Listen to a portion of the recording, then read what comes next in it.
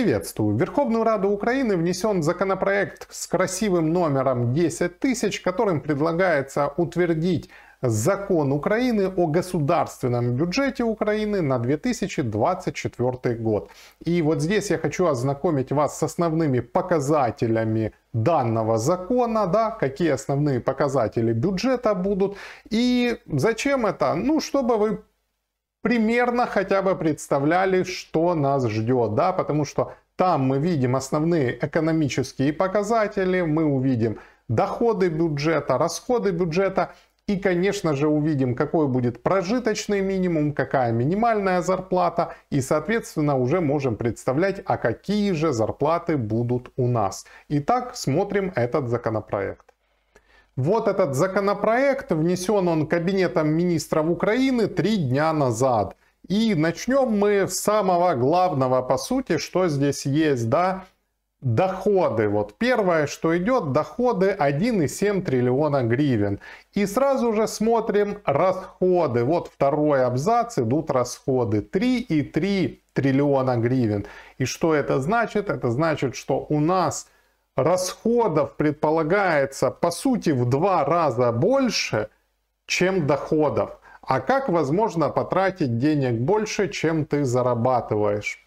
кредиты и поддержка, соответственно, да. Ну и когда я говорю поддержка, я надеюсь, что э, наши западные партнеры будут давать деньги не в долг, да, не в кредит, а просто поддерживать, просто дарить, потому что это, к сожалению, мы дошли до того, что это единственное хорошее, на что мы можем рассчитывать, да, потому что если мы в таких количествах будем брать кредиты, то, конечно же, возникает резонный вопрос, как это все будет отдаваться и кто это все будет отдавать, да, когда мы, по сути, вот вынуждены за год взять в кредит именно столько, сколько у нас доходов в год. Ну, это жесть, это никакая экономика такого выдержать не может, и отдать таких кредитов ну, просто невозможно, по сути, да, поскольку мы же и в прошлом году имели такую же ситуацию, да,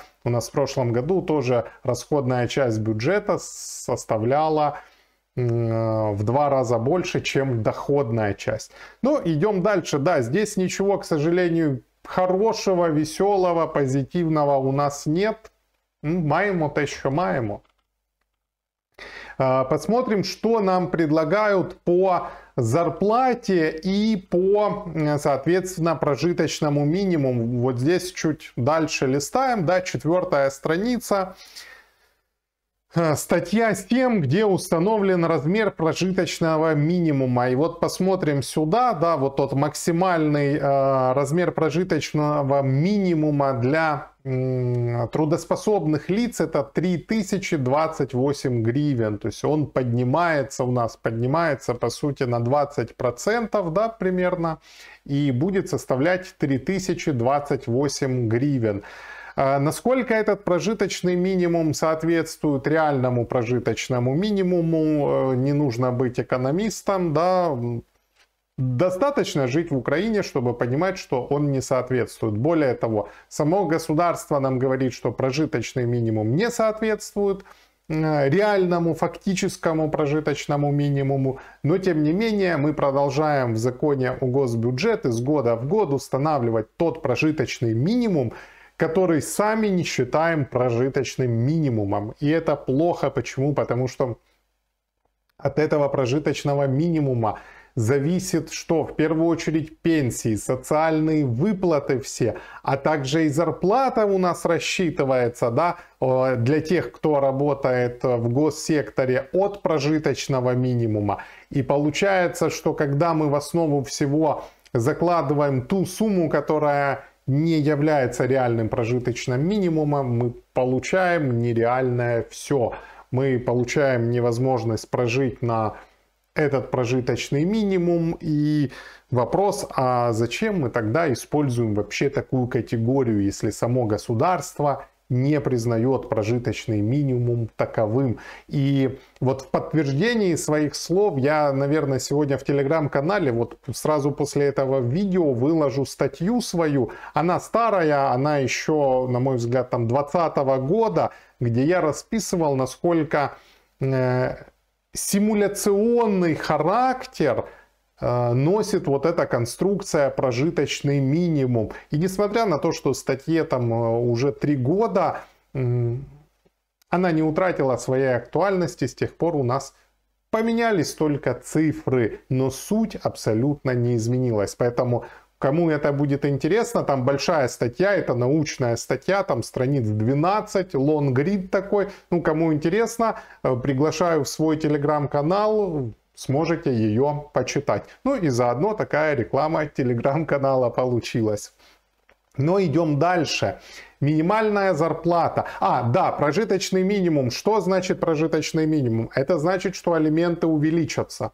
Вот вы можете посмотреть, что увеличивается прожиточный минимум же и на детей в возрасте до 6 лет и от 6 до 18 лет. А это значит, что увеличится размер алиментов. Ну, минимальный размер алиментов, да.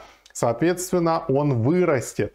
Дальше идем. Минимальная зарплата. Вот давайте посмотрим. Статья 8. И мы видим здесь, что 1 э, января будет 7100 минималка, а с 1 апреля будет 8000 гривен. И казалось бы, ну хорошо, зарплата вырастет и вроде бы неплохо, вроде бы растет зарплата. Но дело в том, что этот бюджет рассчитан исходя из инфляции э, в 10,8%.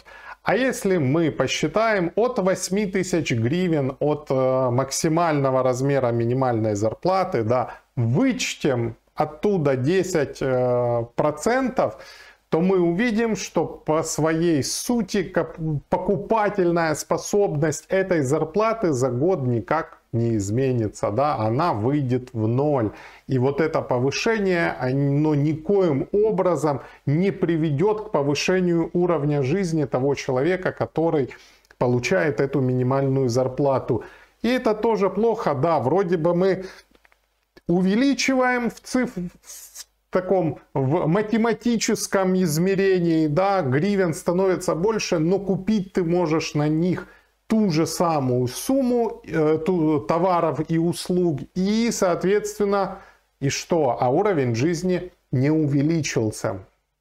Какой вывод из всего этого мы можем сделать? А вывод простой. С учетом того, что в стране идет война, экономическая ситуация, по сути, она только ухудшается, никоим образом она не улучшается, да и улучшаться не может в таких условиях.